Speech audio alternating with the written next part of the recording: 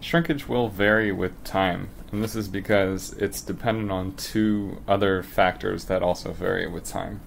Uh, first, we'll have uh, the relative humidity.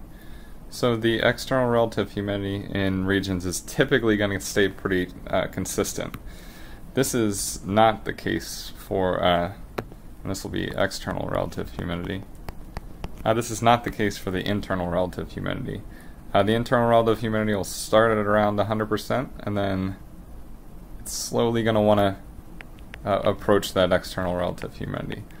So some of the water is going to be lost because of drying of the, or uh, because of uh, hydration of the of the cement, and some is going to be lost to the to the environment. Uh, this is also, uh, or shrinkage is also affected by the concrete stiffness.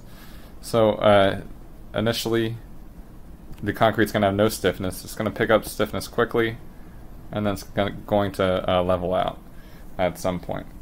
And then finally, um, you know, we have the shrinkage. So you can see that uh, at the start, we have the largest disparity between internal and external relative humidity. This means that the water is going to, you know, have the most desire right at the start to uh, to leave the uh, leave the pores, and this is at the at a time when our stiffness is relatively small. So what this means is it means that our uh, shrinkage is going to have the highest rate right at the beginning. And then as our concrete gains stiffness and our internal relative hu humidity approaches our external relative humidity, this is going to level out.